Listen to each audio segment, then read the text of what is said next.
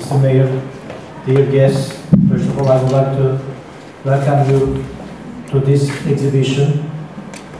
Zahvaljujem se, hvala gradonačelniče.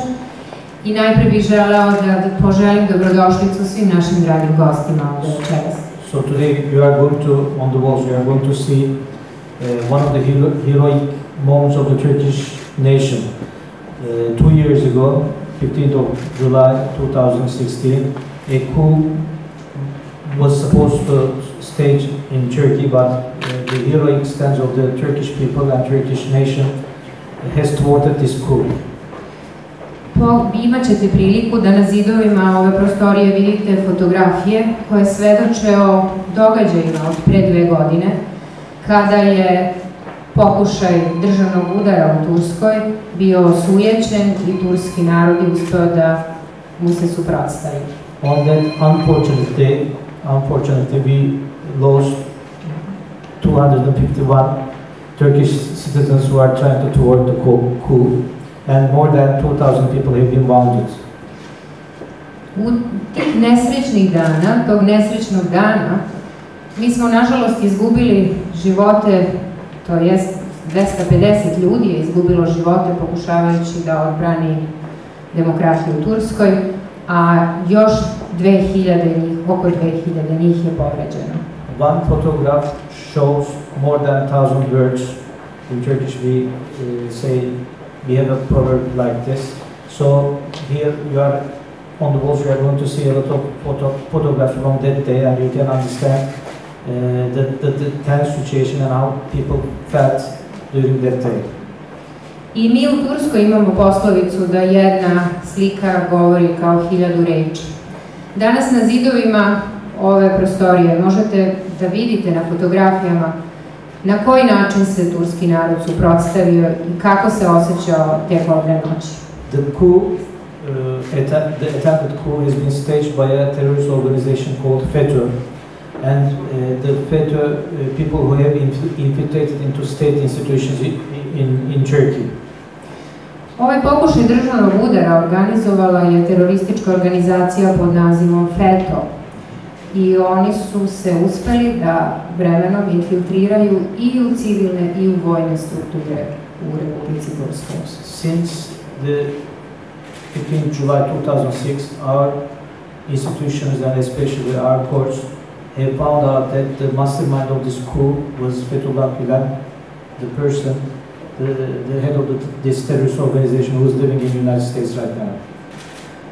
U istragama koje su sprovedene tokom poslednje dve godine, istražni organi Turske ustanovili su da je glavni planer ovog e, pokušaja državnog udara Fethullah Gulen, koji trenutno živi u Sjedinim američkim državama.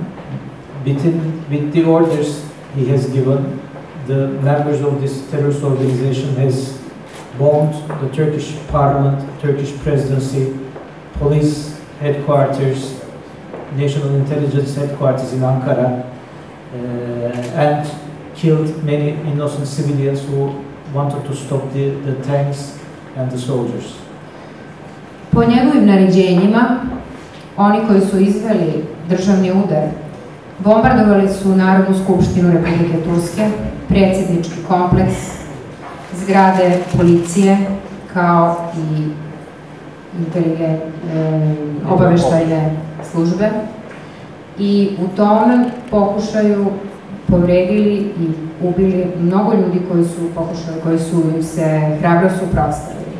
Uh, from here, I would like to underline one important fact. This FETÖ terrorist organization uh, depicts itself as a charity organization at the beginning with schools and with charity organizations like a charity organization. Therefore, we should be very careful uh, with this organization and if there are, uh, especially in European countries, there are still remnants of these organizations. We should be very careful in, uh, in dealing with this uh, institution. But with having said that, I would like to thank the Serbian authorities because Serbian authorities are taking every measure to stop this terrorist organization to find shelter in, in Serbia.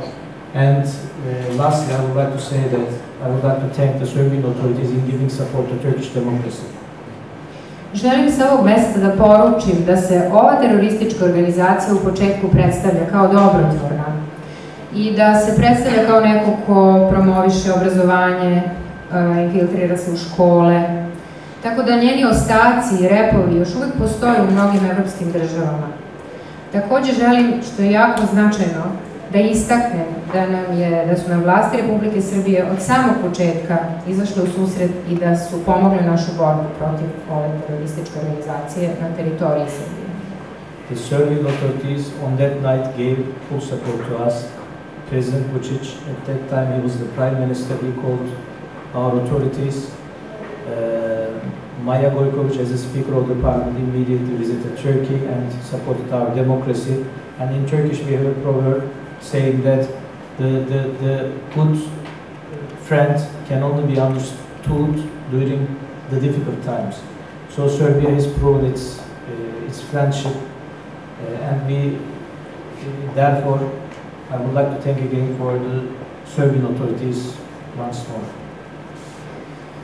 Ono što je značajno za nas je da su već u samoj noći pokušaja udara vlasti Srbije pružile podršku Turskoj izabranoj vlasti.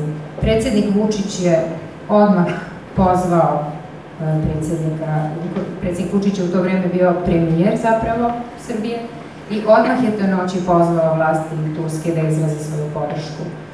Predsednica Skupštine Maja Gojković je već sledećeg dana otputovala u Tursku.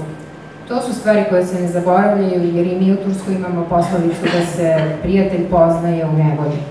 Tako da koristim priliku da im se još jednom na toj podršci zahvalim. I don't want to prolong my speech, but lastly, I would like to underline that since our relations are very good and a lot of investments, uh, investors are coming to Serbia, we should definitely work with Novi Sad, with, with Mr. Mayor, yourself, not only on investor side, but on cultural side as well. And therefore, I would like to thank you, the, uh, the Cultural Center of Novi Sad as well. And I am sure that our cooperation with Turkey and Novi Sad and this municipality and the region uh, is going to grow bigger and bigger in the coming days. At least I have will to improve that.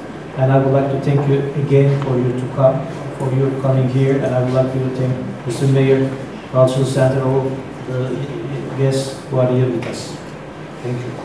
Imajući u vidu naše izvanredno dobre odnose međudržavne i sve veći dolazak, sve veći, dolazak sve većeg broja investitora iz Turske, hoću da naglasim takođe ovom prilikom da mi nismo zainteresovani samo za tu saradnju na polju ekonomije i biznisa, već da želimo da proširimo i produbimo i našu kulturnu saradnju. Tako da sam ovom prilikom zahvala ne samo gospodinu gradonačelniku sa kojim ćemo raditi na ovim novim projektima, na mnogim novim projektima, već i predstavnicima kulturnog centra koji su nam tako